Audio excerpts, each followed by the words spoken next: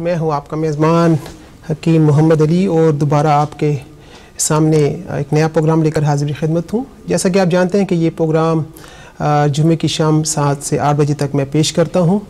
और इस प्रोग्राम का मकसद ये है कि आपको आपकी बीमारियों के बारे में बताया जाए कि बीमारियाँ क्या हैं, उनके होने की क्या कॉमन वजूहत होती हैं और सिम्टम्स क्या हैं, उनसे किस तरह बचा जा सकता है। इस प्रोग्राम में हम नॉर्मली अल्टरनेटिव थेरेपीज़ या कम्प्लीमेंट्री थेरेपीज़ की बात करते हैं।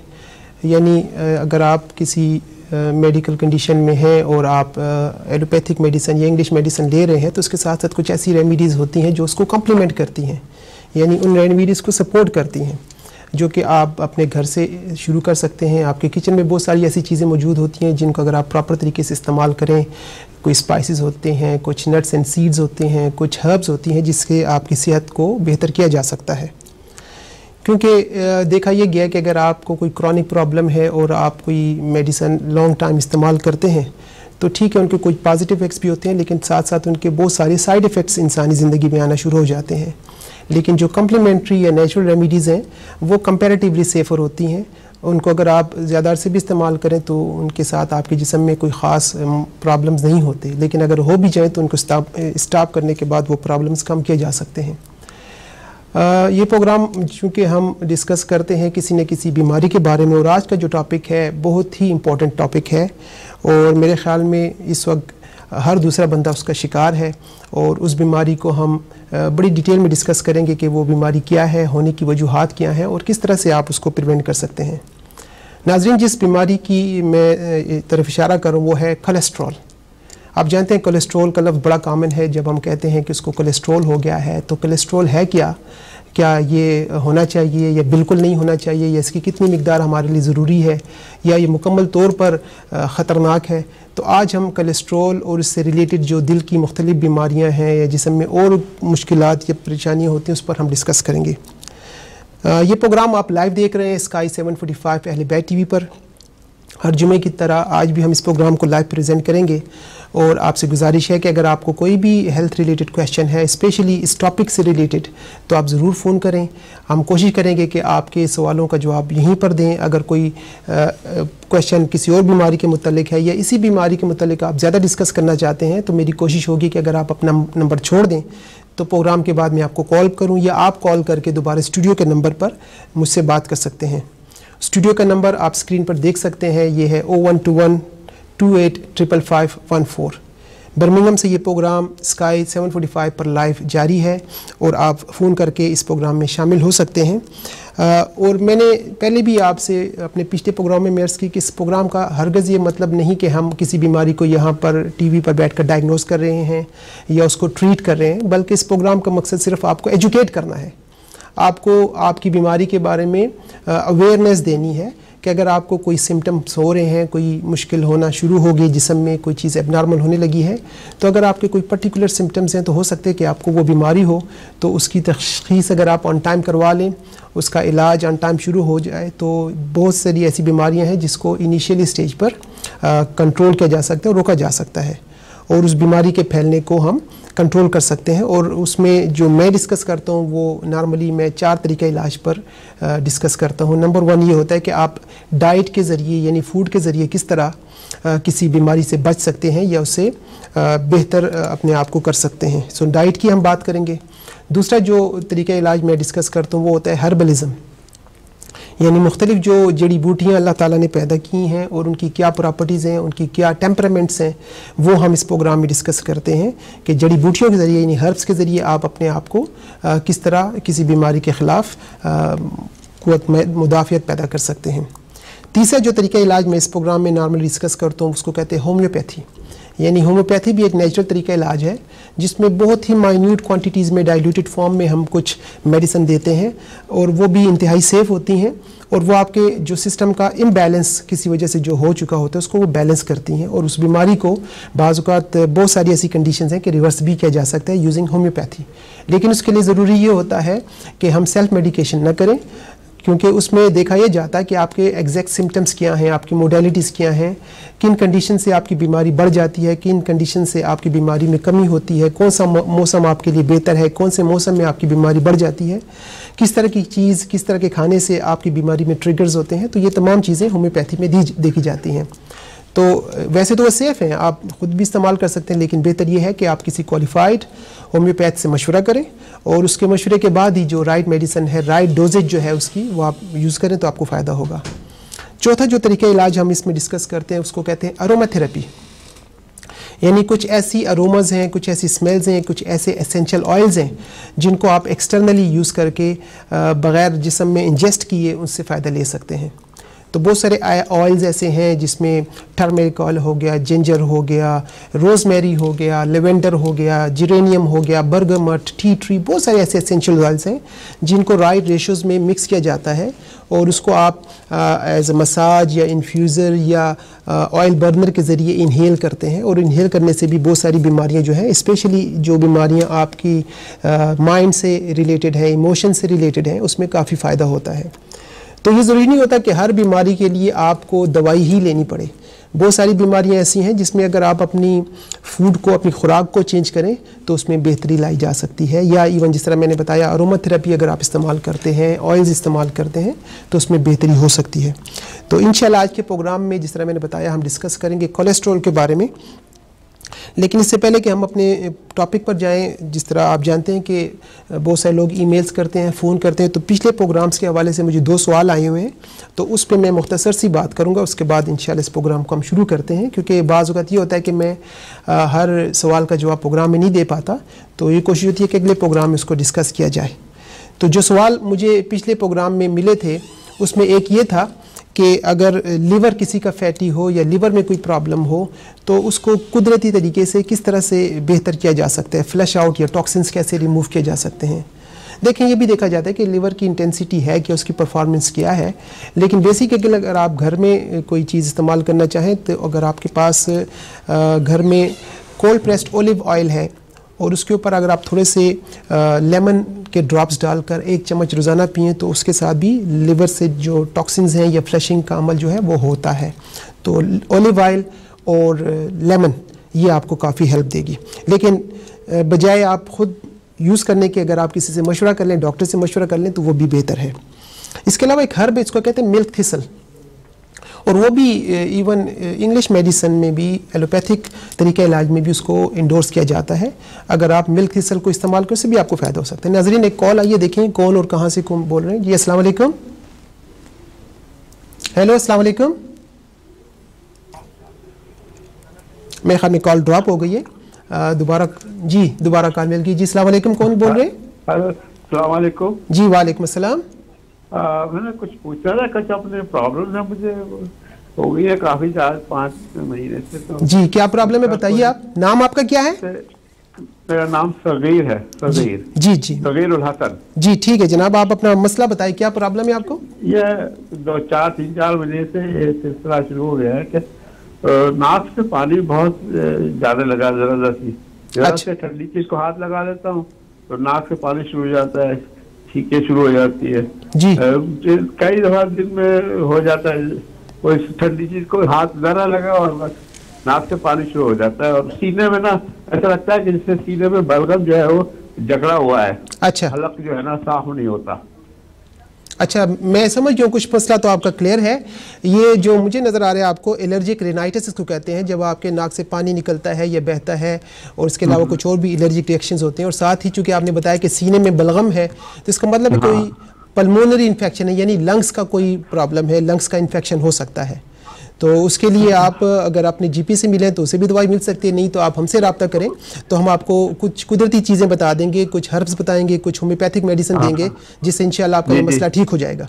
क्योंकि कुछ अभी कोई अभी मैंने कोई तीन महीने पहले सीटी स्कैन कराया था चेस्ट का। अच्छा। ये प्रॉब्लम जो है अभी हज करके जब वापस आए थे जब से ये शुरू हुआ था वहाँ से। सऊदिया से अच्छा अच्छा। तो वो स्कैन कराया था वो उन्होंने बिल्कुल सीटी स्कैन किया और उनका आपका सीधा बिल्कुल ठीक है उसमें कोई प्रॉब्लम नहीं है। अच्छा। वो समझ में नहीं आ रही है बात मुझे कि क्या है ये।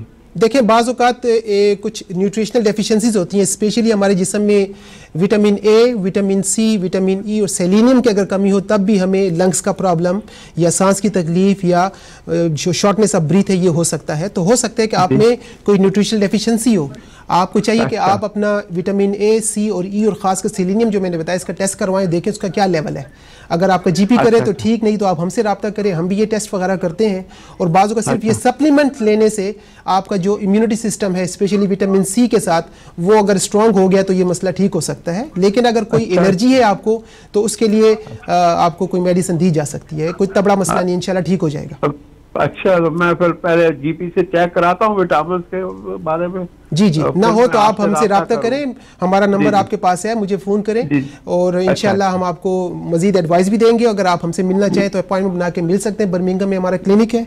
और उसी हिसाब से इंशाल्लाह हम आपकी ट्रीटमेंट कर सकते हैं कोई समस्या नहीं है। इट्स नॉट अ अच्छा, मेजर इशू इंशाल्लाह। बहुत बहुत शुक्रिया बहुत शुक्रिया। जनाब। शुक्रिया फ़ोन करने का। तो बात हम कर रहे थे जनाब लीवर डिटॉक्स की।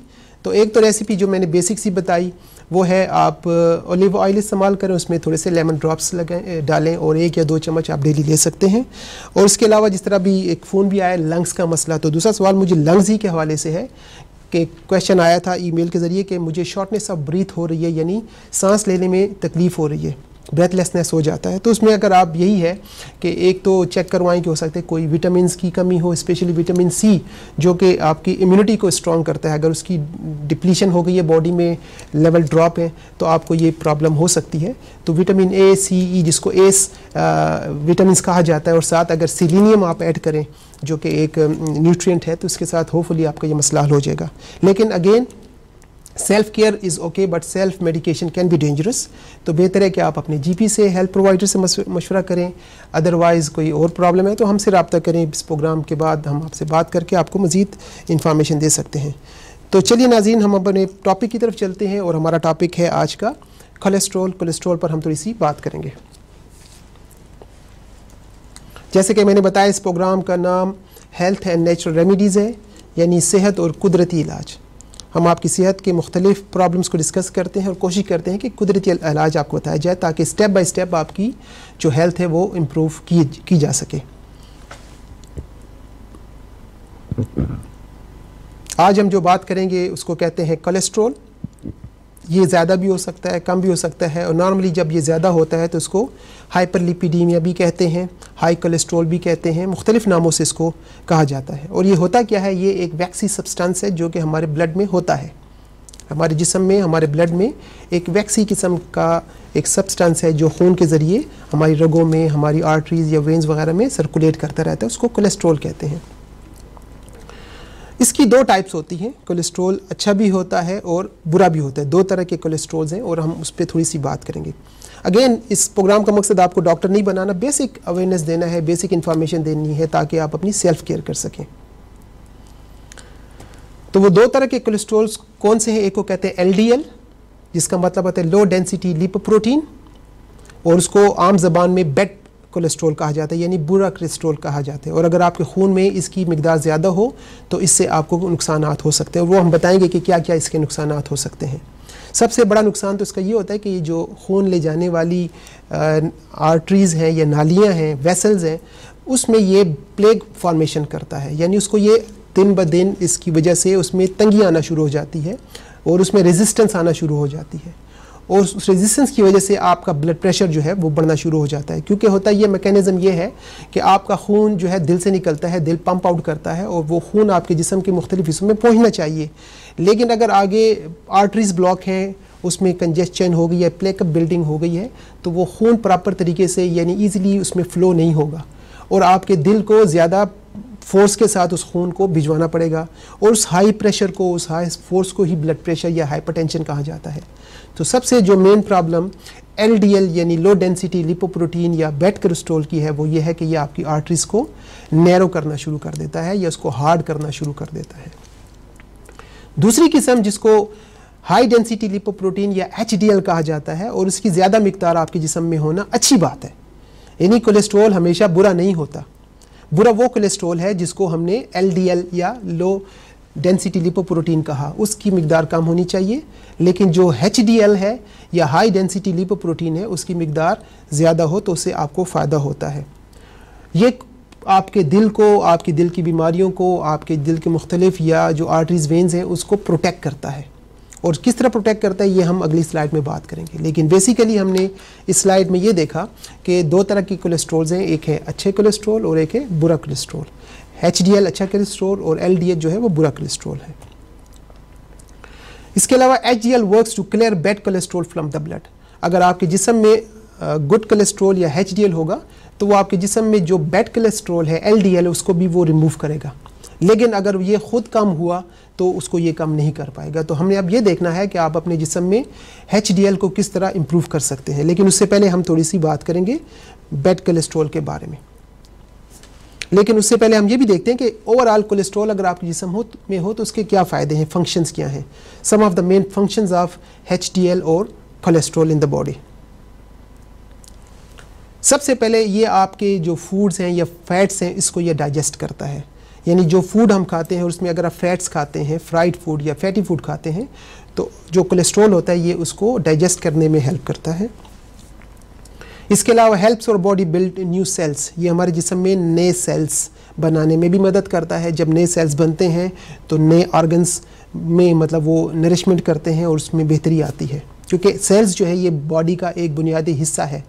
एक बुनियादी हिस्सा जो जुज़ है हमारे जिसम का, वो है सेल जब सेल्स मिलते हैं तो इनके मिलने से आपके ऑर्गन्स बनते हैं।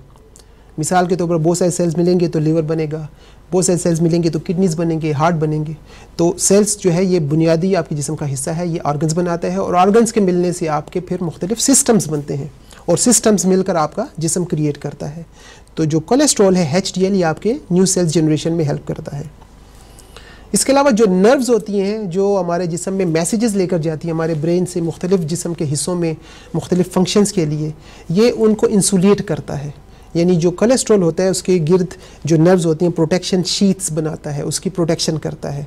यानी जो पाइप्स जा रहे हैं, जो सिग्नल्स ले जाने वाले पाइप हैं, अगर वो ओपन होंगे तो उनके रप्चर होने का या डिस्ट्रॉय होने का ख़तरा है, लेकिन जो गुड कोलेस्ट्रॉल है, उसके गिर्द जो है रैपिंग करके उसको प्रोटेक्शन प्रोवाइड करती है।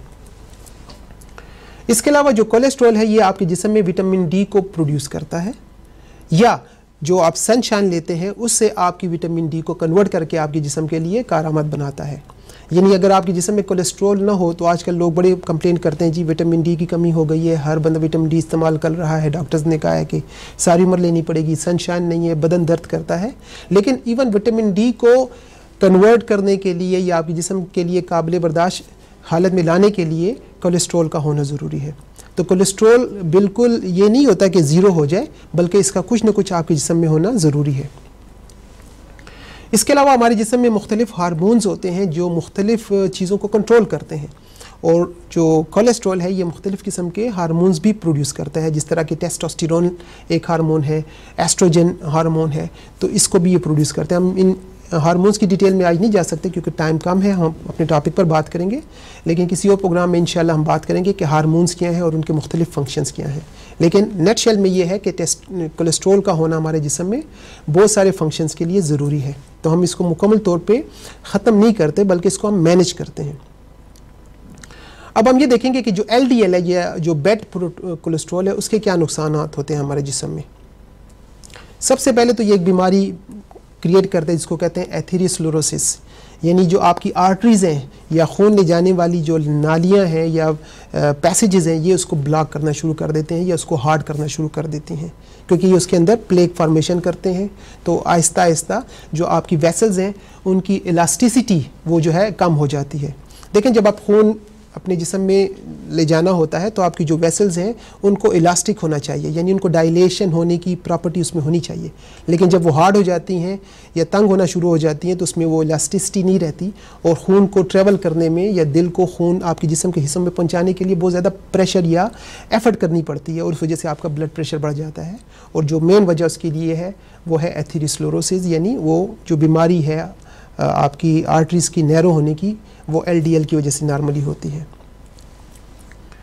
इसके अलावा आपके दिल को ये इफ़ेक्ट करते हैं अल्टीमेटली आपके कार्डियोवास्कुलर सिस्टम को इफ़ेक्ट करते हैं। यानी कार्डियो का मतलब हार्ट और वेस्कुलर का मतलब वेसल्स यानी दिल और दिल से मुंसलिक जितने भी वेसल्स हैं, जिसमें आर्टरीज़ हैं, जिसमें वेंस हैं, जो आपके जिसम में मुख्तलिफ़ आर्गन्स को खून सप्लाई करती हैं और वापस लेकर आती हैं, ये ओवरऑल उस सिस्टम को इफ़ेक्ट करता है एलडीएल इसके अलावा एंजाइना एंजाइना पेक्टोरिस जो एक बीमारी है कि आपके लेफ़्ट साइड पे पेन होना शुरू हो जाता है, आपके जिसम के अंदर हार्ट में ऑक्सीजन की कमी होने की वजह से जो पेन होता है, वो भी इसी की वजह से वजह यही है कि आपकी आर्टरीज नैरो हुई और आपके जिसम में प्रॉपर ऑक्सीजनेशन नहीं हो सकी, या ऑक्सीजनेटेड ब्लड वहाँ पर नहीं पहुँच सका और वहाँ पर सफोकेशन की वजह से पेन होना शुरू हो जाता है। तो ये भी इसकी वजह से होता है। हार्ट अटैक्स यानी दिल जो है, दिल के दौरा जिसको पढ़ना भी कहते हैं, वो भी एलडीएल की वजह से वन ऑफ़ द फैक्टर्स यानी इसके बहुत सारे फैक्टर हो सकते हैं। ये नहीं कि हार्ट अटैक होने का सिर्फ़ यही एक फैक्टर हो, लेकिन it is one of the factors इसके अलावा स्ट्रोक यानी दिल मुकम्मल तौर पे काम नहीं करता पैरालाइज हो जाता है, कोई भी प्रॉब्लम हो सकती है तो ये भी इसकी वजह से कॉज हो सकती है। अब हमने ये देखना है कि अगर किसी बंदे में एलडीएल ज़्यादा हो गया है हम कोलेस्ट्रॉल की बात ओवरऑल कर रहे हैं, लेकिन हम मेनली जो टारगेट करेंगे वो करेंगे एलडीएल को किस तरह मैनेज किया जाए, यानी कम किया जाए, और एल एच यानी हाई डेंसी लिपोप्रोटीन को कैसे बढ़ाया जाए। तो उस पर हम थोड़ी सी बात करेंगे कि कौन सी ऐसी चीज़ें हैं, खुराक है जिसको अगर आप इंक्लूड करें विदाउट मेडिसन के तो आपकी हालत या आपकी सेहत में बेहतरी आ सकती है। सबसे पहले तो आप कोशिश करें कि look for foods that are low in total fats यानी कोशिश ये करें कि वो खुराक लें, वो फ़ूड खाएँ जिसमें फ़ैट्स ओवरऑल कम हो। अब फैट्स की मुख्तलिफ़ किस्म है। चार मुख्तलिफ़ किस्म तो जनरली हैं polyunsaturated monounsaturated trans fats वगैरह वगैरह। तो ओवरऑल आप कोशिश करें कि आपके जो खुराक है उसमें फ़ैट कम हो। यानी फ़ैट फ्री खुराक आपने लेनी है। इसके अलावा डेयरी अगर आप लेते हैं, यानी दूध की बनी हुई चीज़ें हैं तो वो भी कोशिश करें कि स्किम्ड हो या उनमें भी फ़ैट कम हो। अब फैट के देखें मुख्तलिफ़ सोर्सेज हैं। ज़रूरी नहीं कि दूध से ही फैट्स आते हो। एनिमल मीट के ज़रिए आपको फ़ैट आता है। लेकिन उसमें अगर आप फैट फ्री मीट लेंगे, ख़ासकर अगर आप मटन और बीफ अवॉइड करें, बहुत अगर आप मीट खाना चाहते हैं तो लैम्ब ठीक है कभी कभार लेकिन वो भी अगर फ़ैट फ्री हो तो आपको फ़ायदा होगा। इसके अलावा अगर आप फ़िश इस्तेमाल करें तो फ़िश बेहतर है आपके लिए। उसमें जो फ़ैट्स होते हैं, वो हमारे लिए फ़ायदा देते हैं। उसमें जो ओमेगा थ्री आपको नॉर्मली डीप सी से या कोल्ड वाटर फ़िश होती है सामन होगी सार्डीन्स होगी, उसमें जो फैट्स हैं, वो हमारे लिए ठीक है। यानी वो एचडीएल प्रोड्यूस करेंगे गुड कोलेस्ट्रॉल प्रोड्यूस करेंगे। तो वो आपके लिए ठीक है। लेकिन जो डेयरी में नॉर्मली फैट्स होते हैं या मीट में नॉर्मली जो फैट्स होते हैं, वो आपके लिए नुकसानदेह होते हैं। तो उसको अवॉइड करना ज़रूरी है। इसके अलावा जो ऑयल्स हैं कुकिंग ऑयल्स हैं, उसमें भी काफ़ी एहतियात करने की ज़रूरत है। अक्सर लोग देखते हैं जी कि हम, जी हमेशा वेजिटेबल ऑयल इस्तेमाल करते हैं। यह याद रखें कि तमाम वेजिटेबल ऑयल्स जो हैं, वो हार्ट के लिए बेहतर नहीं होते। वो नॉर्मली हाइड्रोजिनेटेड होते हैं केमिकल्स उसमें होते हैं प्रोसेस्ड होते हैं। तो अगर आपने ऑयल इस्तेमाल करना है कुकिंग के लिए या फ्राइंग के लिए स्पेशली रमज़ान शरीफ का मीना आने वाला है तो हम खासकर एशियंस, मुसलमान, पाकिस्तानी जो हैं हमारी खुराक में समोसे पकौड़ों का इस्तेमाल बहुत ज़्यादा होता है। और ये एक ऐसा महीना है जिसमें जिनको अगर खुदा ना खासा कोलेस्ट्रोल या फैट का मसला ना भी हो तो रमज़ान के बाद दो तरह के लोग हमें मिलते हैं। या तो वो हैं जिन्होंने अपनी सेहत को मैनेज कर लिया होता है अपने वेट को मैनेज कर लेते हैं और कुछ वो है जिन्होंने अदर वे राउंड किया होता है। उन्होंने ऐसी चीज़ें पूरे रमज़ान में दिन के वक्त नहीं लेकिन शाम में अफ्तारी के वक्त या सैरी के वक्त इस्तेमाल की होती हैं कि उनका वज़न भी बढ़ जाता है और जिसम के अंदर कार्डियक प्रॉब्लम्स या हाइपरटेंशन और स्ट्रोक और आ, ये जो कोलेस्ट्रॉल का मसला है बढ़ जाता है। उसकी वजह यह कि नॉर्मली हम फ्राइड फ़ूड बहुत ज़्यादा इस्तेमाल करते हैं तली हुई चीज़ें ज़्यादा इस्तेमाल करते हैं। तो कोशिश करें कि इस रमज़ान को आप एक हेल्थी रमज़ान के तौर पर एक्सेप्ट करें और कोशिश करें फ्रूट वेजिटेबल और नेचुरल चीज़ें ज़्यादा इस्तेमाल करें एज़ कंपेयर टू ये तली हुई चीज़ें। लेकिन अगर आपने वाकई कोई तली हुई चीज़ इस्तेमाल करनी है तो अपना ऑयल जो है कुकिंग ऑयल जो है, वो बेहतर क्वालिटी का इस्तेमाल करें। दो ऑयल मैं नॉर्मली अपने पेशेंट्स को रेकमेंड करता हूँ जिनको हार्ट की बीमारियाँ होती हैं कि अगर आपने क्रेविंग है आपको फ्राइड चीज़ों की तो आप कोशिश करें ऑलिव ऑयल इस्तेमाल करें। जैतून का तेल, लेकिन वो भी सेकेंड ग्रेड या थर्ड ग्रेड नहीं फ़र्स्ट ग्रेड जिसको कोल्ड प्रेस्ड या एक्स्ट्रा वर्जन ओलिव ऑयल कहते हैं, उसमें अगर आप तलेंगे तो इतना ज़्यादा आपको नुकसान नहीं होगा। सेकेंड जो ऑयल आता है ओलिव ऑयल के बाद, वो है कैनोला ऑयल तो वो भी आप इस्तेमाल कर सकते हैं। लेकिन उसके अलावा जो ऑयल्स हैं नॉर्मली अगर आप उसमें तली हुई चीज़ें खाएँगे तो यकीन करें, उसके साथ आपको बहुत ज़्यादा दिल के कम्प्लिकेशंस ओबीसीटी के प्रॉब्लम्स नॉर्मली ये ऑयल जो है, ये आपके जिसम में इन्फ्लेमेशन कॉज करते हैं। और इन्फ्लेमेशन की वजह से बहुत सारी बीमारियाँ जो है हमारे जिसम में होना शुरू होती हैं। तो अगर आप अपनी डाइट को थोड़ा सा एडजस्ट करें तो आप बहुत सारी बीमारियों से बच सकते हैं, बहुत सारी बीमारियों से आपकी जान छूट सकती है।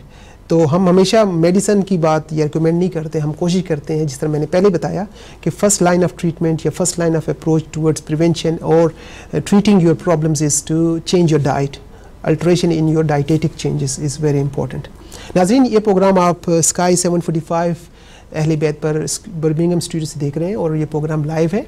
और मैं वेलकम करूँगा अगर आपको अपने दिल या अपने कोलेस्ट्रॉल के हवाले से कोई कॉल है तो कॉल करें।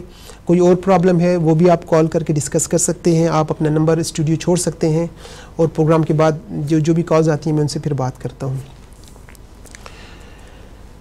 अब हम कुछ और बात करेंगे कि कुछ चीज़ें जो आप अपनी डाइट में चेंज करें, जिससे आपका कोलेस्ट्रॉल बेहतर हो सकता है। सबसे पहले तो ये जो मैंने बताया कि limit consumption of high fat foods जो मैंने पहले बताया कि जिसमें फ़ैट ज़्यादा है, उसको कम करें। अब इसमें फ़ैट फूड्स में मुख्तलिफ़ चीज़ें आ सकती हैं। एक तो होता है प्रोसेस्ड फ़ूड यानी वो फ़ूड जो प्रोसेस्ड किया जाता है, जिसको प्रिजर्व किया जाता है, जिसमें नॉर्मली टेन पैक्स में या लॉन्ग एक्सपायरी के साथ जो फूड्स आपको normally main high street shop में मिलते हैं। तो वो प्रोसेस्ड होते हैं। उसमें उन्हें एडिशनल प्रिजर्वेटिव्स डाल के उसको प्रिजर्व किया होता है। इसके अलावा फ्राइड फ़ूड तली हुई चीज़ें स्वीट्स एंड डेजर्ट्स यानी मीठी चीज़ें। शुगर जो है ऑन इट्स ओन ये आपके जिसम में कोलेस्ट्रॉल के लेवल को और इन्फ्लेमेशन को बहुत ज़्यादा ज़्यादा करती है। अगर आप लोगों ने खाना है तो होलसम फूड्स खाएँ, जिसमें प्रिजर्वेटिव्स ना हो, कोई एडिटिव्स ना हो, कोई पेस्टिसाइड्स ना हो। कोशिश करें ऑर्गेनिक फूड्स अगर आपको मिल जाएँ तो वो बेस्ट है। क्योंकि उसमें नेचुरल चीज़ें ज़्यादा होती हैं, लेकिन नॉर्मली जो फार्म फ़ूड होते हैं, जिसमें उन्होंने पेस्टिसाइड या मुख्तलिफ़ किस्म के केमिकल्स या यूरियस वगैरह इस्तेमाल किए होते हैं, वो आपकी सेहत के लिए इतने अच्छे नहीं होते। इसके अलावा एक और आदत जो हमने देखी है स्पेशली जो लोग स्ट्रेस्ड होते हैं तो वो उनमें अर्ज़ होता है फ्रीक्वेंट ईटिंग का बार बार ईटिंग का। तो उनके लिए एक साइकोलॉजिकल एडवाइस ये है कि ठीक है, अगर आपको एक अर्जिंग हो रही है। पहली बात तो है कि स्ट्रेस जब आप हों तो खाना ना खाएँ, क्योंकि अगर आप स्ट्रेस्ड होंगे, जो खाना खाएँगे उसके साथ आपको काफ़ी डाइजेस्टिव प्रॉब्लम्स हो सकते हैं। लेकिन अगर आपने खाना खाना भी है तो कोशिश करें कि स्मॉलर पोर्शन बनाएँ। देखें अगर आप एक same amount of food large plate में रखेंगे और उसी अमाउंट ऑफ़ फ़ूड को स्मॉल प्लेट में रखेंगे तो साइकोलॉजिकली स्मॉल प्लेट में अगर वही अमाउंट होगी तो वो आपको भरा हुआ लगेगा। और आपकी एपिटाइट उससे जल्दी भर जाएगी। लेकिन अगर उसी अमाउंट कर आप लार्ज प्लेट में या लार्ज बाउल में रखेंगे तो आपको थोड़ा लगेगा और आपकी एपिटाइट सेटिस्फाई नहीं होगी। और आप चाहेंगे कि मज़ीद भी आप चीज़ उसमें डालें और उस फ्रीक्वेंट ईटिंग या ज़्यादा ईटिंग ओवर ईटिंग के साथ आप अपने आप को बीमार कर सकते हैं। तो कोशिश करें, एक टिप है आपके लिए कि स्मॉलर मील्स मोर फ्रीक्वेंटली कि छोटे पोर्शन ठीक है, आप ज़्यादा उसमें खा सकते हैं। उसमें आप डिवाइड भी कर सकते हैं कि एक पोर्शन आप फ्रूट वेजिटेबल का कर लें। एक पोर्शन आप नट्स एंड सीड्स या ग्रेन्स वगैरह का कर लें। एक में आप ड्राई फ्रूट इस्तेमाल कर सकते हैं, यानी आप मिक्स एंड मैच करके एक बैलेंस डाइट अपने आप को ऑन डेली बेसिस दे सकते हैं। इसके अलावा जब आप कुकिंग करें, जिस तरह मैंने पहले बताया तो ऑयल जिस तरह आप चेंज करते हैं, इसके अलावा आप substitute the lower fat alternative यानी लो फैट सावर क्रीम और लो फैट क्रीम चीज़ वगैरह को अवॉइड करें, जितना भी आप कर सकते हैं। यानी चीज़ वगैरह में या क्रीम वगैरह में जो आप कुकिंग करते हैं, उसको अवॉइड करें। अगर आपने करना भी है तो कोलेस्ट्रॉल फ्री आजकल बटर्स मिलते हैं, वो आप इस्तेमाल कर सकते हैं, जिसमें नॉर्मली उन्होंने एक दो हर्ब्स हैं प्लांट्स हैं वो इस्तेमाल किए हुए स्टिरोल उसको कहा जाता है उस प्लांट को। तो उसके उन्होंने जो पाउडर इस्तेमाल किया तो वो फैट फ्री बटर है और वो आप अगर इस्तेमाल करना चाहें तो उसका इतना नुकसान नहीं होगा। इसके अलावा जिस तरह मैंने बताया कैनोला ऑयल या एक्स्ट्रा वर्जन ओलिव ऑयल आप इस्तेमाल कर सकते हैं। तो ये मैंने बताया स्पेशली जो लोग कुकिंग में मुख्तलिफ़ क्रीम्स या चीज़ वगैरह का इस्तेमाल करते हैं। इसके अलावा increase the consumption of fibre rich plant foods कोशिश करें ऐसी चीज़ें लें और स्पेशली प्लांट बेस्ड अगर हो तो ज़्यादा बेहतर है, जिसमें फ़ाइबर हो। फाइबर कहते हैं रेशे को। यानी रेशेदार चीज़ें, ऐसी चीज़ें जिसमें रेशा ज़्यादा हो। उसके साथ ये होगा, एक तो यह है कि आपकी बावल मूवमेंट सही रहेगी, आपको कॉन्स्टिपेशन नहीं होगा, आपकी जो स्लगिश बॉडी के अंदर बावल की मूवमेंट है वो ठीक हो जाएगी। क्योंकि अगर आपको कॉन्स्टिपेशन होता है तो आपके जिसम में टॉक्सिन्स डेवलप होना शुरू हो जाते हैं और उससे बहुत सारी बीमारियाँ होती हैं। लेकिन फाइबर का ये होता है कि वो आपके जिसम से, एक तो ये है कि वो आपके जिसम के अंदर जाके आपके मैदे में फूल जाता है और आपकी जो खुराक या फ़ूड की इनटेक है वो कम हो जाती है। इसके अलावा अगर आपके जिसम में कोई फैट्स हैं या कोई बेड वेस्ट प्रोडक्ट्स हैं तो वो उसमें एब्जॉर्ब होकर उसको निकालते हैं और आपका जो बाउल मूवमेंट है या कॉन्स्टिपेशन है, वो रेगुलर रहता है। आपको डेली टॉयलेट अटेंड करना पड़ता है। तो कोशिश करें कि अपनी खुराक में मैक्सिमम फाइबर का इस्तेमाल करें। अब उसमें फ्रूट्स भी आ सकते हैं। अब फ्रूट्स में नॉर्मली एप्पल्स हैं पेयर्स हैं एप्रिकॉट्स हैं, इसमें ज़्यादा फाइबर होता है। प्रून्स हैं फिग्स हैं तो ये आप इस्तेमाल कर सकते हैं। वेजिटेबल्स बहुत सारी मिलती हैं ग्रेन्स हैं लीग्यूम्स दालें वगैरह हैं और मुख्तलिफ़ नट्स एंड सीड्स हैं जिसमें फ़ाइबर का इस्तेमाल होता है। स्पेशली जब हम सीड्स की बात करते हैं तो लिन सीड्स हो गए फ्लैक्स सीड्स हो गए चिया सीड्स हो गए, इसमें काफ़ी फाइबर होता है। और ये आपको ओवरऑल कोलेस्ट्रॉल लोअरिंग एजेंट्स के तौर पर भी फ़ायदा देते हैं और आपका जो ओबिसिटी का या वेट का मसला है, उसमें भी काफ़ी हेल्प करते हैं। तो आप अगर थोड़ी बहुत अपनी डाइट को चेंज करेंगे, यकीन करें, इंशाल्लाह आपको बहुत फ़ायदा होगा। इसके अलावा eat a variety of cholesterol lowering vegetables including अब जो वेजिटेबल की बात है, इसमें specially celery beets eggplants garlic onions peppers and root vegetables ये आपके लिए काफ़ी फ़ायदा दे सकती है। इसमें फाइबर भी है, इसमें न्यूट्रिएंट्स भी हैं, इसमें फ्रेशनेस भी है, ये अगर ऑर्गेनिक हो तो टॉप ऑफ़ द लिस्ट होगा। तो कोशिश करें डाइट में ये चीज़ें आप ज़्यादा से ज़्यादा इंक्लूड करें। इसके अलावा हम बात करेंगे कुछ किचन में आपकी जो हर्ब्स होती हैं या कुछ स्पाइसेस होती हैं, उसमें भी कुछ ऐसी अल्लाह ताला ने मिराकलसली कुछ चीज़ें हमारे लिए पैदा की हैं कि अगर हम उनको प्रॉपर तरीके से इस्तेमाल करें तो बहुत सारी बीमारियों को हम काफ़ी हद तक मैनेज कर सकते हैं। देखिए, कुछ बीमारियाँ हैं, वो ख़त्म नहीं की जा सकती, उनको मैनेज किया जाता है। और जो हाइपरलिपीडीमिया का मसला या कोलेस्ट्रोल एबनॉर्मलिटी का मसला, उसको भी मैनेज करने की ज़रूरत होती है। तो इस स्लाइड पर हम बात करेंगे उन स्पाइसिस की, उन हर्ब्स वगैरह की। तो स्पेशली इसमें सबसे जो मेन एक हर्ब है, जिसको सिनेमन कहा जाता है, दारचीनी, ये बहुत बेहतरीन हर्ब है। इसको अगर आप अपनी डाइट में रेगुलर इस्तेमाल करें तो इससे बहुत सारे बेनिफिट होंगे और एक बेनिफिट जिस तरह अभी हम डिस्कस करें, वो है कोलेस्ट्रोल स्पेशली ये एचडीएल को बढ़ाएगा और एलडीएल को कम करता है। इसके अलावा इवन जिन लोगों को डायबिटीज़ है शुगर के लोगों में भी पेशेंट्स में भी इसका काफ़ी फ़ायदा है। जिन लोगों को डाइजेस्टिव प्रॉब्लम्स हैं या इवन स्ट्रेस वगैरह का मसला है, वो भी अगर आप सिनेमन का इस्तेमाल करें तो उससे काफ़ी फ़ायदा हो सकता है। इसके अलावा टर्मेरिक हल्दी फैनल यानी सौंफ का इस्तेमाल आप करें, सौंफ का बना हुआ कहवा आप पिए, इसके साथ भी आपका कोलेस्ट्रोल कम हो सकता है। और IGNOU black pepper basil tarragon they are all beneficial for lowering your cholesterol levels तो इनमें से जो भी आपको पसंद है, जो भी आपको अवेलेबल है, लेकिन याद रखें कि हर चीज़ मॉडरेशन में लेनी चाहिए। अगर आप सिनेमन को इंतहाई ज़्यादा इस्तेमाल करेंगे तो इसकी टेम्परामेंट अगर ड्राई और हार्ट हुई तो इससे आपको तकलीफ़ हो सकती है। तो कोशिश करें, जो भी आपने हर्ब लेनी है सिनेमन लेनी है, या कोई भी टर्मेरिक उसको एक बैलेंस लेवल पे लें, एक उसको मॉडरेशन में लें, ज़्यादा उसमें इस्तेमाल ना करें। तभी ये आपको फ़ायदा देगा। अगर आप किसी हर्ब के बारे में क्लियर नहीं है तो बेहतर है कि आप किसी से मशवरा कर लें। आप किसी अपने लोकल किसी हकीम से रबता करें, हमसे फ़ोन पे बात करें और मशवरा करने के बाद अगर आप उसको इस्तेमाल करेंगे प्रॉपर तरीके से तो आपको ज़्यादा फ़ायदा हो सकता है। इसके अलावा बहुत सारी रिसर्चेज़ हैं एप्पल्स के हवाले से। और एक रिसर्च जो काफ़ी लोगों ने जिससे फ़ायदा लिया, वो ये भी है कि अगर आप एप्पल्स को इस्तेमाल करें और ख़ास कर बड़ा यूनिक कहा गया है कि three apples for three months तो आप देखेंगे कि आपके कोलेस्ट्रॉल में ड्रामेटिकली ड्रॉप होगा। तो ये एक ट्राई है, आप करें, देखें। और अगर अच्छे रिजल्ट्स हों तो आप शेयर करें, हमें भी बताएँ ताकि हम इसको मज़ीद अपने पेशेंट्स के साथ शेयर करें और वो भी फ़ायदा लें। लेकिन एप्पल आपको पता है, एक, कहते हैं apple a day keeps the doctor away तो अगर आप एप्पल इस्तेमाल करें तो वैसे भी एक टाइम टेस्टेड और प्रूवन इसके फ़ायदे हमें मिलते हैं। लेकिन अगर आप तीन एप्पल तीन महीनों के लिए रेगुलर इस्तेमाल करें तो देखें इन आपके कोलेस्ट्रॉल में काफ़ी फ़र्क आएगा। इसके अलावा होम मेड ऑरेंज मार्मलेड अगर आप इस्तेमाल करें तो इससे भी देखा गया कि एल डी एल कोलेस्ट्रोल जो है वो कम हो सकता है।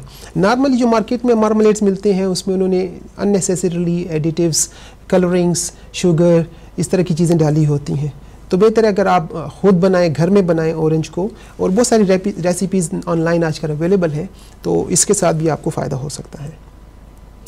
इसके अलावा जो इन्फ्यूजन्स हैं, यानी हर्बल टीज़ हैं, और ख़ास कर जो दो टीज़ मैं यहाँ पर डिस्कस करूँ, वो है ग्रीन टी और ब्लैक टी अगर आप डेली एक कप पिए तो इसके साथ भी आपकी दो चीज़ें कोलेस्ट्रॉल और ट्राइग्लिसराइड्स ट्राइग्लिसराइड भी कोलेस्ट्रॉल ही से मिलती जुलती या इसी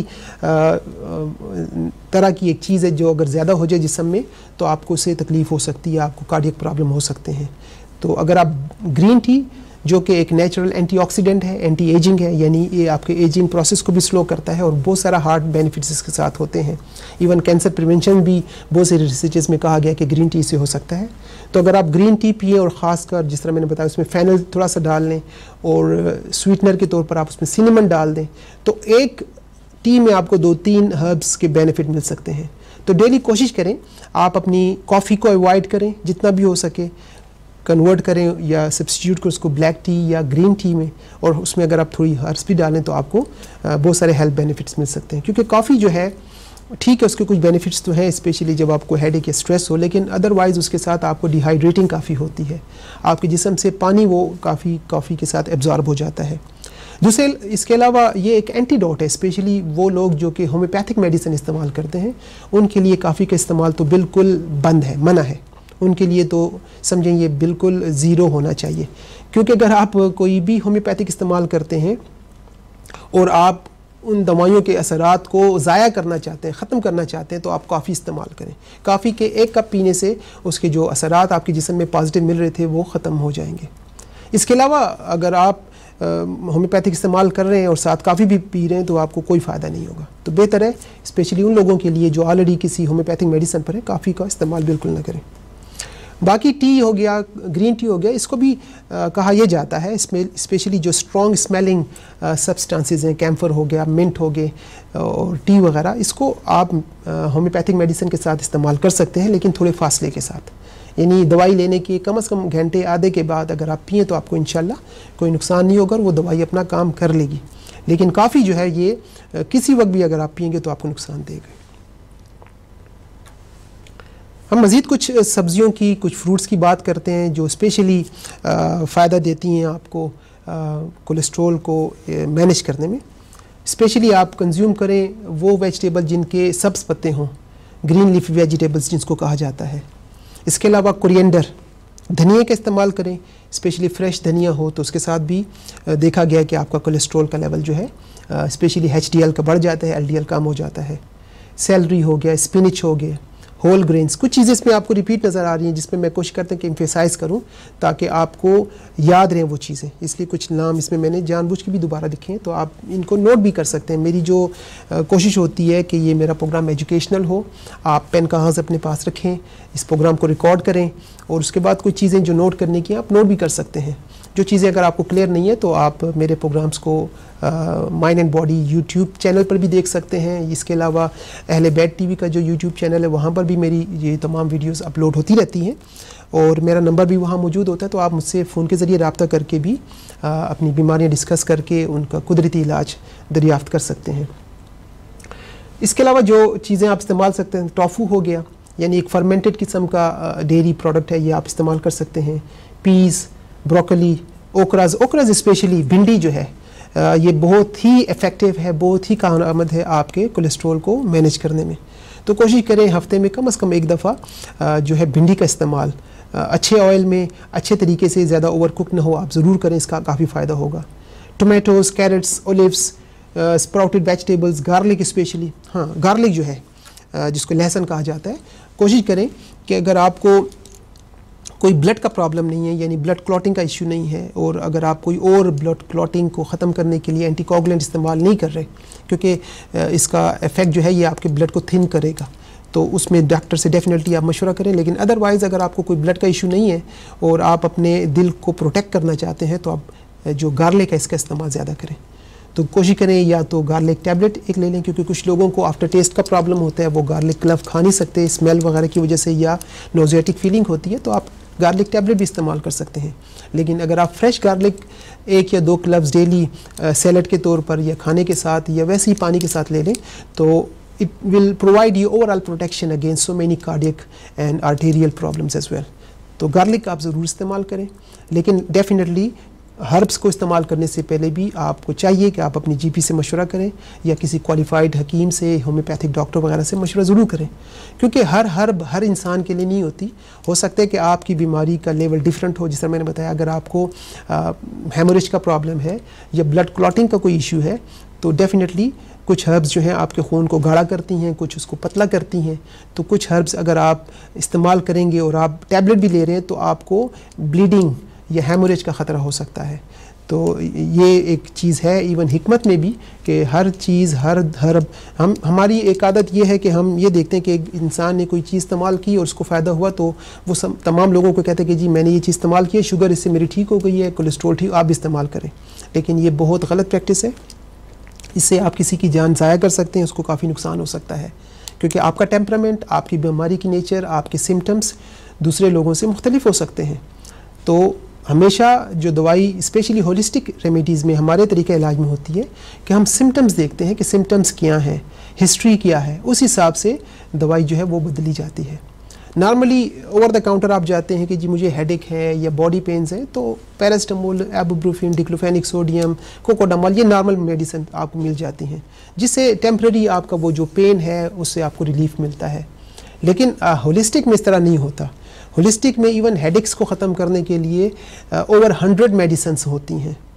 इससे भी ज़्यादा हो सकती हैं। और उसमें देखा जाता है कि आपके हेडेक के सिम्टम्स हैं क्या? हेडेक किस वक्त होता है? हेडेक फ्रंट पे है लेफ़्ट साइड पे है राइट साइड पे है टॉप पर है, गर्दन की तरफ़ रेडिएट कर रहा है, किस वजह से हो रहा है? तो जो जो आपकी कैफियत बदल, बदलेगी मोडेलिटीज़ चेंज होंगी आपकी दवाई बदलती रहेगी। तो हर बंदे के लिए हेडेक के केसेस में एक ही तरह की दवाई हम रेकमेंड नहीं करते और इसलिए हम आपसे भी ये कहते हैं कि कोई भी चीज़ें जो मैं आपको बता रहा हूँ, ये ओवरऑल आपको कम्प्लीमेंट करेंगी सपोर्ट करेंगी। लेकिन अगर आपको कंसर्न है किसी चीज़ के बारे में तो आप ज़रूर मशवरा करें। आइए दोबारा हम अपनी स्लाइड की तरफ़ चलते हैं, क्योंकि चीज़ें बहुत हैं टाइम कम होता है और मैं कोशिश करता हूँ कि इस टॉपिक को आज के दिन में कवर किया जा सके। इसके अलावा जिंजर आप इस्तेमाल करें। जिंजर कहवा आप पी सकते हैं, यानी अदरक बहुत ज़रूरी चीज़ है। रोज़मेरी, मूंग बीन्स जो है, यानी मूंग के जो बीन्स हैं, वो आपके लिए काफ़ी अच्छे हैं। लोबिया जिसको कहते हैं, ओट्स हो गए। स्पेशली ओट्स, जिनको कोलेस्ट्रॉल है, वो नाश्ते में, हफ़्ते में एक से दो मरतबा ज़रूर पॉरेज या ओट्स वगैरह का इस्तेमाल करें। और कोशिश करें उसमें चीनी वगैरह का इस्तेमाल ना हो तो बेहतर है। इसके अलावा बारले, रे, लेग्यूम्स, एप्पल साइडर विनेगर, ख़ासकर जो एप्पल का सिरका है, ये भी काफ़ी हेल्प देता है बहुत सारी बीमारियों में। और इसका तरीका बेहतर ये रहता है कि आप खाने से पहले इसका एक चम्मच एक गिलास पानी में डाइल्यूट करके अन, मतलब अनडाइल्यूटेड अगर आपने पिया तो बहुत सारे प्रॉब्लम हो सकते हैं। डाइल्यूट करके थोड़ी सी क्वांटिटी में आप पिए तो इससे आपको काफ़ी फ़ायदा होगा। इसके अलावा प्रून्स जो मैंने बताया इसमें बहुत ज़्यादा फाइबर होता है। Blueberries yams buckwheat watermelon hawthorn berries specially hawthorn berries जो है, ये स्पेशल बेरीज हैं इसके आजकल। सप्लीमेंट्स भी मिलते हैं इसका इन्फ्यूजन या कावा भी आप पी सकते हैं। ये भी बेहतरीन एक हर्ब है। अल्लाह ताला ने पैदा किया हमारी दिल की हिफाजत के लिए। इसके अलावा एग प्लांट जो मैंने पहले ही बताया, जिसको हम आम ज़बान में बैंगन कहते हैं ब्रिंजल कहते हैं, वो भी आप इस्तेमाल कर सकते हैं। मशरूम्स लेमन्स लोटस रूट और पीच कर्नल्स तो ये कुछ चीज़ें हैं जो नेचुरली आपको इजीली मिल जाती हैं मार्केट में। और अगर आप इनका इंटेक अपनी डाइट में ज़्यादा करें और अपनी ज़िंदगी से जो मीट प्रोटीन्स है या फैटी स्टफ़ है या कम्प्लेक्स कार्बोहाइड्रेट्स हैं, उसको अगर आप निकालें कम्प्लेक्स नहीं सिंपल कार्बोहाइड्रेट्स को निकालें तो आपको फ़ायदा हो सकता है। आपने रिप्लेस करने इन चीज़ों को। इसके अलावा कुछ चीज़ें आपने मज़ीद अपनी खुराक में इंक्लूड करनी स्पेशली नट्स एंड सीड्स क्योंकि नट्स एंड सीड्स के बारे में लोगों की गलत फहमी है कि इसमें बहुत ज़्यादा फैट्स होते हैं। यस इनमें फ़ैट्स होते हैं, लेकिन इसमें जो फैट्स होते हैं, जिस तरह मैंने पहले बताया स्पेशली ओलिव्स की बात जो हमने की या कैनोला ऑयल की, उसमें जो फैट्स हैं या फ़िश में जो फैट्स हैं, वो फ़ायदे वाले हैं। तो नट्स एंड सीड्स में भी जो नॉर्मली फैट्स आपको मिलते हैं, वो आपके लिए बेहतर है। और स्पेशली जो नट्स आप लोगों को स्पेशली जो फार्मूला है, वो ये है कि मुख्तलिफ़ नट्स एंड सीड्स आप डेली बेसिस में एक फिस्ट फुल अमाउंट में लिया करें।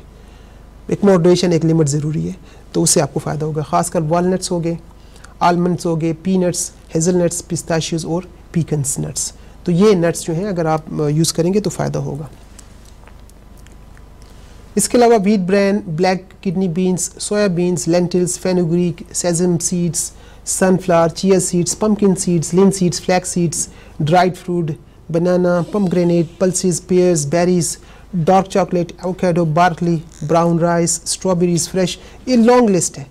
तो मैं इस स्लाइड को एक दो मिनट रखता हूँ ताकि अगर आप लोगों ने कुछ नोट करना तो आप नोट कर सकते हैं, या बाद में आप देख लें। तो ये वो तमाम चीज़ें हैं ओवरऑल जो कि अगर आप इस्तेमाल करें तो आपको फ़ायदा होगा। देखिए बाज़ बीमारियों में हम ये नहीं कहते कि आपने कुछ नहीं खाना या सब कुछ छोड़ देना है। लोगों की गलत फहमी होती है स्पेशली वेट लॉस करने में कि जी डाइटिंग पर हम जाएँगे तो हमें हर चीज़ से हाथ रोकना पड़ेगा, कुछ नहीं खा पाएँगे। ये गलत अप्रोच है। या इवन जो बताने वाले हैं प्रॉपर वो न्यूट्रिशनिस्ट नहीं है प्रॉपर उनको नहीं पता। हमने सिर्फ़ कुछ चीज़ों को अल्टरनेट करना पड़ता है स्विच करना पड़ता है चेंज करना पड़ता है। बाकी बहुत सारी चीज़ें हैं जो आप शायद इस्तेमाल ना कर रहे हो, वो हम आपको बताते हैं, वो आप इंक्लूड कर सकते हैं। तो हमारा मकसद आपको किसी चीज़ से डिप्राइव नहीं करना। बल्कि सिर्फ़ आपकी जो रॉन्ग ईटिंग हैबिट्स हैं, उसको बेहतर हैबिट्स में कन्वर्ट करना है। तो इसलिए बेहतर है कि आप इस प्रोग्राम को या इस तरह के एजुकेशनल प्रोग्राम्स को गौर से देखें तो अपनी भी थोड़ी सी रिसर्च करें और जिस चीज़ के बारे में आप क्लियर ना हो तो उस पर ज़रूर किसी से मशवरा कर लें। अब कुछ चीज़ें ऐसी हैं जिनको अवॉइड भी करना चाहिए। हमने अभी तक तो बातें ये की कि अगर आपने अपना कोलेस्ट्रॉल लेवल अच्छा करना है तो कौन कौन सी चीज़ें इंक्लूड करें?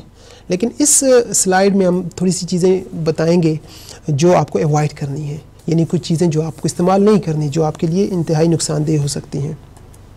सबसे पहले तो यह है कि जो लेज़ी लाइफ है सेडेंट्री लाइफ है, या अनप्रैक्टिकल लाइफ है, उसको आपने ख़त्म करना है। और दूसरी जो चीज़ है स्ट्रेस मुझे पता है स्ट्रेस को ख़त्म करना इतना आसान नहीं, दुनिया में, ज़िंदगी में बहुत सारे मसाइल हैं, लेकिन स्ट्रेस को कोप किया जाता है, उसको मैनेज किया जाता है। लेकिन अगर आप स्ट्रेस को और लेज़ी लाइफ को ख़त्म नहीं करेंगे तो ये आपके इमोशंस के ज़रिए आपके जिसम में बहुत सारे प्रोग्राम्स को या फ़ंक्शंस को एबनॉर्मल करेंगे, जिससे इन्फ्लेमेशन काज होगी, जिससे एबनॉर्मलिटीज़ होंगी फ़ंक्शंस डिस्टर्ब होंगे और आपका कोलेस्ट्रॉल ब्लड प्रेशर वगैरह बढ़ सकता है। क्योंकि ये आपका सिर्फ़ कोलेस्ट्रॉल नहीं बढ़ाते, बल्कि दिल की मुख्तलिफ़ बीमारियों को और ख़ासकर ओबीसीटी और डायबिटीज़ को भी बढ़ाते हैं। तो अगर आप एक लेज़ी लाइफ गुजार रहे हैं तो आप उठें, अब मौसम चेंज हो रहा है वॉक करें स्विमिंग करें रनिंग करें जॉगिंग करें, लेकिन बिस्तर से निकलें और बाहर अपनी एक फ़्रेश लाइफ में चलने फिरने की या किसी किस्म की भी एक्सरसाइज करने की कोशिश करें। देखें एक्सरसाइज फिक्स नहीं है, कोई भी एक्सरसाइज आपको अच्छी लगती है, आप कर सकते हैं। कुछ नहीं तो सिर्फ़ वॉक ही करें, ये भी आपके लिए एक बेहतर एक्सरसाइज है, बजाय ना कुछ करने के। इसके अलावा जो सबसे दूसरी बड़ी ख़तरनाक चीज़ जो हम लोग, हमारे ख़ासकर यंगस्टर इस्तेमाल करते हैं, वो है स्मोकिंग तो smoking on its own cardiac बीमारियों के लिए कैंसर के लिए ओबीसिटी के लिए इवन आपके रिप्रोडक्टिव सिस्टम्स के लिए बहुत ज़्यादा नुकसानदेह है। तो स्मोकिंग का मुझे नहीं पता, कोई आप में से नाजरी मुझे फ़ोन करके कोई एक वाद फ़ायदा बता दे, लेकिन अगर आप सोचेंगे तो इसके हंड्रेड्स नुकसान आपको मिलते हैं। फाइनेंस से लेकर सोशल अनएक्सेप्टेंस एक्सेप्टेंस और बहुत सारी चीज़ें, और सेहत तो सबसे मेन चीज़ है। तो नाजिन, आपसे मैं यही गुजारिश करूँगा कि अगर आप स्मोकिंग करते हैं तो कुछ स्मोकिंग करना भी इतना ईजी नहीं है, लेकिन रमज़ान का महीना एक ऐसा है जिसमें बहुत सारे लोग प्लान करते हैं और स्पेशली इस महीने में वो मैनेज करते हैं और बहुत सारे लोग कामयाब हो जाते हैं स्मोकिंग को छोड़ने में रमज़ान के एंड पे। इसको आप स्लोली एंड ग्रेजुअली कर सकते हैं। अगर आप 10 सिगरेट ले रहे हैं दिन में तो कोशिश करें अगले वीक आप नौ पे आ जाएँ। उसके बाद आप आठ लें, सात लें तो gradually slowly within month और टू ये होगा कि एक या दो सिगरेट के बाद आप इसको छोड़ सकते हैं। अचानक छोड़ना मुश्किल है, लेकिन ये आपके दिल के लिए इंतहाई ख़तरनाक चीज़ है। इसके अलावा इस लिस्ट पर आप देख ही रहे हैं कि कौन कौन सी चीज़ें पड़ी हैं। इन चीज़ों को कोशिश करें कि जितना हो सके अवॉइड करें, ख़ासकर डीप फ्राइड फ़ूड जो होते हैं, क्योंकि उसमें मैंने बताया जो ऑयल्स इस्तेमाल होते हैं, इंतहाई ख़तरनाक हैं, उसको आप कोशिश करें, अवॉइड करें। इसके अलावा सिंपल कार्बोहाइड्रेट्स जिसमें नॉर्मली ये कैंडीज़ होती हैं, ये स्वीट्स होती हैं, जेलीज़ होती हैं, इसको जितना हो सके आप अवॉइड करें। इसके अलावा वाइट फ्लार सफ़ेद आटा, ये भी नुकसान दे सकता है। और दिल की बीमारियों के लिए जो सबसे मेन प्रॉब्लम होती है, वो है नमक का इस्तेमाल।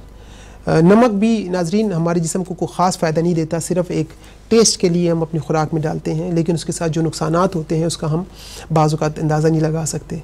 दो नुकसान जो मेनली मैं आपको बताऊँगा, वो ये हैं, एक तो सोडियम के साथ या नमक के साथ आपका जो दिल का मसला है या ब्लड प्रेशर है, वो बढ़ जाता है। दूसरा ये आपके जिसम से एक बहुत इंपॉर्टेंट चीज़ को कहते हैं कैल्शियम, उसको ये निकाल लेता है एब्जॉर्ब करके आपके जिसम से थ्रू यूरिन या थ्रू स्वेटिंग वो निकाल देता है। और कैल्शियम की कमी की वजह से आपको मुख्तलिफ़ बीमारियाँ, हड्डियों की मसल्स की होना शुरू हो जाती हैं। तो कोशिश करें सोडियम को कम से कम इस्तेमाल करें या हो सके तो इसको चेंज करें into something better like Himalayan salt जो कि एज़ कंपेयर टू वाइट जो टेबल सॉल्ट उससे बेहतर होता है। इसके अलावा प्रिजर्वेटिव जो मैंने पहले बताया और ट्रांस एंड सेचूरेटेड जो फैट्स होते हैं, इन चीज़ों को आप एवॉड करें। इसके अलावा cheese and aged cured meats जो होते हैं, वो जिस मैंने पहले बताया कि जो मीट्स हैं, जो पुराने हैं, ये प्रिजर्व किए हुए हैं, ये चीज़ है, ये आपकी जो आर्टरीज़ हैं आर्टरीज देखें, खून की वो नालियाँ हैं जो खून लेकर जाते हैं आपके दिल से मुख्तलिफ़ हिस्सों में। ये उसको नैरो करना प्लेक फॉर्म करके तंग करना शुरू कर देते हैं और खून का उनमें से गुजरना मुश्किल होता है। जस्ट लाइक यू नो आपका किचन है और अगर वो ब्लॉक हो गया तो जो ड्रेनेज है, उसमें से प्रॉपर तरीके से चीज़ें फ़्लो नहीं करेंगी तो आपको पुश करना पड़ता है किसी प्रिंजर वगैरह के साथ। तो इस तरह हार्ट को भी पुश करना पड़ता है उसका स्ट्रोक वॉल्यूम उसमें फिर ज़्यादा होने की ज़रूरत हो जाती है ताकि आपके जिसम में खून प्रॉपर तरीके से सप्लाई हो सके।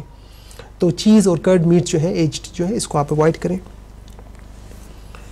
और जैसा मैंने पहले बताया कि शुगर और रिफाइंड कार्बोहाइड्रेट्स जो होते हैं, ये आपके लिवर और इसके अलावा आपके जिसम में पहले मैंने बताया इंक्रीज़ करते हैं इन्फ्लेमेशन को और कोलेस्ट्रॉल को। तो नाजरीन, ये प्रोग्राम आप देख रहे हैं स्काई 745 अहल बैट टी वी पर और आज जो हम बात करें वो है कोलेस्ट्रोल की, और ये हर बंदे का, हर दूसरे बंदे का इस वक्त ज़रूरी नहीं कि एज्ड जो लोग हों या जिनकी उम्र ज़्यादा उन्हीं का मसला हो, बल्कि देखा गया कि बच्चों में ये प्रॉब्लम अब काफ़ी बढ़ना शुरू हो गया और दुनिया में इस वक्त जो मेन कंसर्न वो बच्चों की हेल्थ ही के हवाले से है कि उनमें बेसिटी और वेट का होना, और ख़ास कर जो रीज़न्स हैं वही हैं जो मैंने बताई, जो हमारी खुराक है, जो लाइफ है, जो सेडेंट्री लाइफ है, जो स्ट्रेस है, जो हमारा इन्वायरमेंट है, ये तमाम उसकी वजूहत हैं। तो इस प्रोग्राम में मुझे उम्मीद है कि आपने आज काफ़ी चीज़ें सीखी होंगी। प्रोग्राम ख़त्म करने से पहले दो तीन जो सप्लीमेंट्स हैं मैं बताना चाहता हूँ। अगर वो भी आपके जिसम में कम हो तो कोलेस्ट्रोल का प्रॉब्लम हो सकता है या उनकी मकदार बढ़ाई जाए तो उसको कंट्रोल किया जा सकता है। एक है, उसको कहते हैं विटामिन सी विटामिन सी जो कि आपके लिए बहुत ज़रूरी है, मैंने पहले ही बताया। दूसरा है नियासिनामाइड जिसको नियासिन या विटामिन बी थ्री कहते हैं। अगर आप वो भी अपनी सप्लीमेंट में ज़्यादा करें तो उससे भी आपका कोलेस्ट्रोल कम हो सकता है। इसके अलावा फोलिक एसिड भी आपके हार्ट के लिए ज़रूरी है। तो कोशिश करें कि अपने जीपी से या अपने हेल्थ प्रोवाइडर से कहें कि आपकी न्यूट्रिशनल डेफिशिएंसीज का टेस्ट करें। अगर वो नहीं करते तो आप हमसे रबता करें। हमारे पास मशीनें हैं टेक्नोलॉजी इसमें पता चलता है कि आपके जिसम में फोलिक एसिड या बाकी न्यूट्रिएंट्स की मकदार कितनी है, उस हिसाब से आप वो सप्लीमेंट ले सकते हैं। इसके अलावा को इंज़ाइम क्यू टेन एक और इंज़ाइम है जो आपके दिल की बीमारियों के लिए काफ़ी ज़रूरी है तो वो भी आप इस्तेमाल कर सकते हैं। और एक जो और चीज़ को आपको अवॉइड करना चाहिए, जो कि अनफॉर्चुनेटली हमारे मुसलमानों में भी काफ़ी आजकल आना शुरू हो गई है, और वो है अल्कोहल का इस्तेमाल। तो कोशिश करें शराब नोशी जो कि इंतहाई नुकसानदेह है, हमारे मज़हब में भी मना है, और उसके दिल के ऊपर भी काफ़ी नेगेटिव असरात होते हैं। सिगरेट का मैंने पहले बता दिया। तो अगर आप चाहते हैं कि आप एक, आपका दिल अच्छा हो या आप एक हार्टी हेल्थ के साथ ज़िंदगी गुजार सकें और दिल की हालत बेहतर हो तो आप अपनी खुराक को पहले टारगेट करें, अपनी लाइफ स्टाइल को चेंज करें और मेडिसिन लेनी हो तो किसी से मशवरा करने के बाद लें नाजरीन चूँकि प्रोग्राम का वक्त ख़त्म है, मैं आपसे इजाज़त चाहूँगा। इन अगले जुमे दोबारा ज़िंदगी रही तो इसी चैनल पर आपसे मुलाकात होगी। तब तक अपने मेज़बान हकीम मोहम्मद अली को इजाज़त दें, अपना ख्याल रखें और इन मुलाकात होगी। खुदा हाफिज़। अल्लाम